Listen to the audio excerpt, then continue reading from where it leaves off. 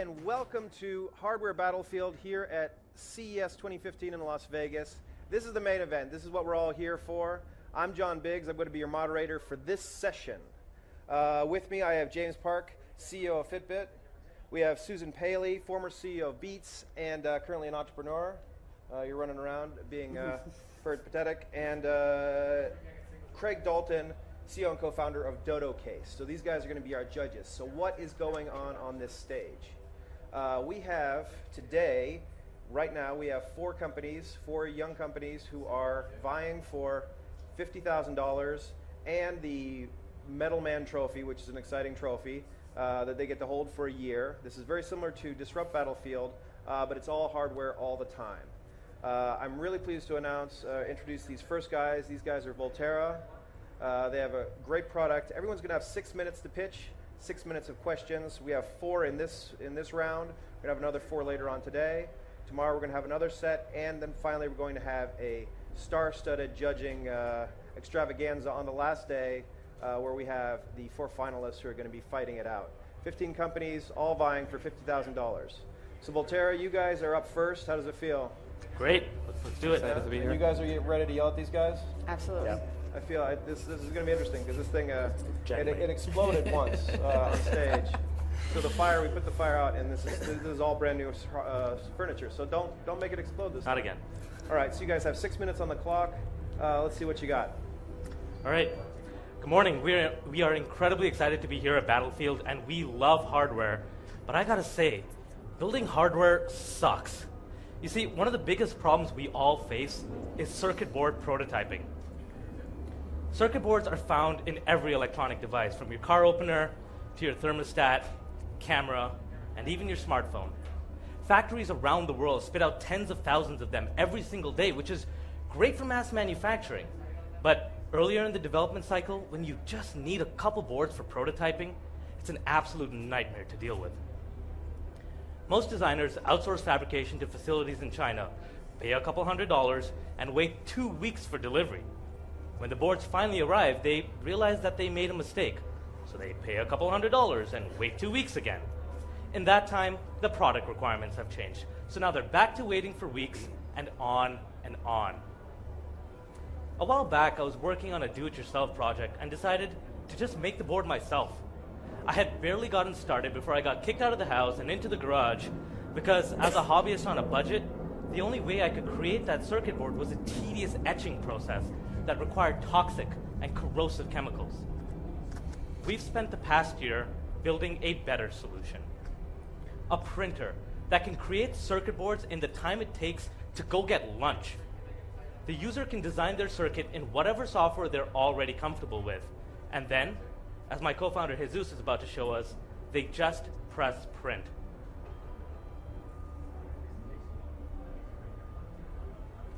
So while that's working, let's take a look at a couple videos of the printer in action. Our technology uses a silver nanoparticle conductive ink to create the electric traces. Let's say you have a brand new idea and need a quick prototype, or are looking to get into electronics but realize the cost of making mistakes is too high. Well, a rapid prototyping tool can make a huge difference. We're also the only prototyping tool in the world to be able to print multi-layer circuits. We sandwich an insulating material between the conductive layers to create even more complex boards. When you're finally past the prototyping stage, you'd normally find yourself spending hours adding components to the dozens of boards you've ordered in order to build up beta units or for some final testing. With the Voltera V1, just toss them onto the printer and it'll even dispense solder paste and reflow bake the boards for you. We're going to be launching a Kickstarter this winter, and our customers will be able to purchase replacement ink cartridges and substrates directly through our website. We're not trying to replace mass manufacturing, just help our customers get there faster and save huge costs along the way. But let's take that a step further. If you owned a business, how would you feel knowing you, you were paying your engineers to wait for the FedEx truck rather than building product? We live in a world where a company's agility determines its success. So to us, the choice between lead times of two weeks or just 60 minutes is an easy one to make. We've interviewed engineers from large tech companies, hardware startups, and the academic and hobbyist community. They all agree that hardware developers need a faster way to prototype electronics. But more importantly, they were so excited about what they could do with this new freedom. Larger businesses can protect against IP infringement by keeping new development in house. And it's our goal to put one of these printers on every designer's desk. One of our old professors from the University of Waterloo wants to print experimental RFID tags and antennas. Our friends at other hardware startups would have used this to get to their minimum viable product much faster. We've talked to electronics designers that want to put our printer beside their 3D printer for truly rapid prototyping. And the hobbyists, they just want to build cool stuff with custom Arduinos and Raspberry Pis. The rapid prototyping market is expected to reach almost $5 billion by 2018, quadrupling from today's numbers. Now, this started with 3D printers, but with the growing demand for electronics from users like these, we believe that circuit prototyping will drive this trend. Our entire team has recently returned from a four month stay in Shenzhen, China, through HAXLR8R's hardware program. While there, we immersed ourselves in the world of manufacturing, certifications, supply chain, and were able to transform our Frankenstein of a prototype into something we're truly proud of. But what really amazed us was that even in the electronics capital of the world, the fastest we could get a board turned around was two days. With our printer, you need less than two hours. We're going to be launching our Kickstarter soon, so if you're interested in picking up an early bird unit, sign up on our website to be the first to know. With Voltera, if you need custom circuits, just press print. Thank you. Very good. So how, how long would it take to print the circuit board inside that inside the machine itself? Could it print itself? Yeah, uh, so our board would probably take about 15 minutes to print, and then there's a 30 minute curing cycle to dry the ink. So it can self replicate itself? Yeah. And just start making clones of itself and just fill the world? Yep. All right, very cool. So you guys ready for the great goop of, uh, of electronics that are just going to take over the world? What do you guys think? Uh, it's pretty cool. I just had some quick technical questions. So, like, how what kind of, how complex can the boards be that Yep. you can print? So, So fair question. layers, blind vias, all that. Yeah, so what we do uh, is we support right now 8 mil space and trace and passives down to 0603. Um, in terms of ICs, we have a limitation on the pitch, so 0.8 millimeters. Um, and in terms of uh, layer count, right now for the launch, we're just going to be supporting two layer circuits. Uh, but eventually, it should just be a matter of a, a firmware update to be able to go higher than that. We just haven't done enough testing so far in order to support that confidently yet. Um, in terms of vias and uh, all that sort of things that come with multilayer, the way we're approaching multilayer is if you have a trace going this way and another one this way, we just mask the area where the two traces overlap. And that allows us to, first of all, it makes it a lot less computationally heavy for us, but it saves on ink and makes it faster for the user. And that way you don't even need vias, you have a sort of dynamic multi-layer effect going on. So I've spent a lot of time in Shenzhen, so I, I feel for you. I know, I know exactly what it's like over there. Um, so let me ask you a couple questions. Yeah. One, fourteen ninety nine is based. Are you getting the right margin that you need for something like this with a fourteen ninety nine price point? Yep. So this, uh, the 14.99 is our pre-order price point. It'll be going up after that, um, and even with that, we have about a 60% profit margin on our uh, material costs. Okay, and you showed a pretty wide audience in That's terms right. of where you're going after. Obviously, you need to pick where you're starting. Yep. So, kind of sitting here today, who's your first audience? Who's your first target for So this? since we're launching through Kickstarter, we know that our early adopters are going to be the maker community, and we're really excited about working with them because that's sort of where we started as well. Uh, so that's the initial market, the you know the 4,000 makerspaces that are located globally, as well as home hobbyists. Uh, from that, hardware startups we could have used this during our prototyping, and we know a lot of other hardware startups as well. Uh, we've seen a lot of interest from the academic sector, both as a teaching tool and as a research tool, uh, and that's from leading uh, electronics uh, programs across Canada and, and the US. Um, so that's sort of where we see our early market over the next year, year and a half. Um, eventually, we do see ourselves uh, approaching enterprise with a larger, more fully featured product, um, and we'll take that to them with using more of a Xerox-based model where we uh, charge them monthly subscriptions for ink support, etc. Do you see this market being bigger, same size, smaller than 3D printers?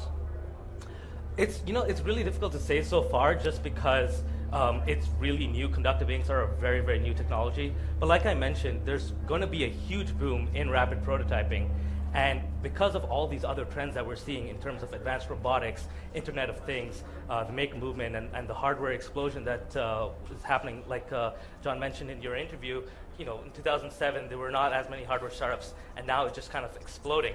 Because of all of these trends, we, we think that circuit prototyping is going to be huge in the upcoming years. What's the reliability of the, the circuit that you can create? So we've got circuits that we printed months and months ago that are still working. Um, we haven't been along, around long enough to see if they've lasted for years, but I don't have any expectations that they won't be. Um, you're so imagining that people use them in their prototyping processes and early yep. alpha. We are a prototyping tool. We just want to help people get to mass manufacturing faster, get to Shenzhen faster. Um, but right now, while you're prototyping, it just takes too long and costs too much. Were you guys able to print anything out of that while you were, while you, when you press print? Was it coming out? Can you yeah. So um, we stopped the print midway just because it's a little bit distracting for me while I'm pitching. But um, that one is a uh, so it's still wet, but this is sort of what it ended up looking like once the components are added. Um, so I'm not sure if you, can see tethered? it. Can we look, take a look at it? I don't know if I'm tethered down here, but uh, if, you, if you want to. All right, let's try that. Just there we go. Click the button. Excellent. Press and hold the button, and you know, it's just something super simple that we created just to show that I think that's conductive it works. Actually. You can solder to it, but yeah. yeah. Just press and hold the button. So Susan, would that have been helpful over at Beats to have a have a machine that can uh, that can print circuit boards? Um, honestly, once you're at the scale that Beats was at, we had a lot of local chip manufacturers. We could do all this locally as well. Yep. And then this is not something when you're at sort of the scale of a very large company that you're going to find incredibly helpful because you've already built in all the efficiencies into your company. As a startup, I totally get it. I mean, the one question I would also see is look at what 3D printers have done and look at how their costs have plummeted. Exactly. So when you think about if this thing takes off, you're going to be chasing your own margins really quickly to think about how do I stay competitive because everyone's going to get, right? This is just the next evolution yeah. of really the do-it-yourself rapid prototyping market. Yeah, when we got started at Dodo Case, we used a facility called Tech Shop that gave us access to laser printers and CNC routers, and I can see this having a natural home there where you can kind of create that first product, that viable first product, to see if you really have something as a hobbyist or a small business owner. That's right. Mm-hmm. Are you going to buy one? I would buy one. I think our R and D team could use one. I mean, we have a ton of 3D printers in house too. You don't want to build so. anything at home. You just want to. You don't want to build not at home. Circuitry. no. it's so rare. To, so rare to need a circuit around the house. Homeless to get away from work, right? Yeah, so. All right. So that was our first company, Voltera. Thank you very much, guys. This Thank is, you. Uh, exciting stuff. Up next, we're going to be changing over. Uh, next up is People. This is Hardware Battlefield 2015 here in Las Vegas. This is uh, this is CES. What, what do you guys think of the uh, the show so far? Have you been wandering around a little bit? Uh, just a little bit. Yeah. Love all the smaller companies. Um, I think there's an explosion of just really cool and maybe even crazy ideas, and it's always fun to see rather than, you know, things from large companies. So. Well, even a few years ago, this whole show was just Samsung, Microsoft, Philips, and I don't know, right. some washer dryer companies. Now it's small hardware startups. Yeah, drones, I feel, wearables, everything. Personally. So. I've, been, I've been fighting for hardware startups for years. Uh, have you seen? Have you guys seen anything yet? I haven't been on the show floor yet. Yeah, I'm going this afternoon. So yeah. it's, uh, but it, I heard that there's 20,000 people, 20,000 more people here this year than there have been in previous years. So there's a lot of energy here. You can feel it. Why do people keep coming back to CES? Why, do we Why is it after New Year's? Can't they switch it? Why do we always have it? they should have it. They should have it during the summer. Exactly. Just about set up. I think we got it. So we have 15 companies. There's going to be one wildcard company. There's a place called Eureka Park here in the show. Um, it's sort of all the hardware startups, mm. and there, there's I think it was like 75 75 companies just for Indiegogo alone that have raised $24 million on Indiegogo. Wow. Uh, we have all our 15 companies out there, uh, or our 14 companies, and uh, and we're going to be talking to these guys essentially all week. There's no there's no value in going in and talk to Samsung because We've seen it all. They, they do the, they do spot launches at this point. Right. Uh, whereas all the news is coming out of here. So do we have people?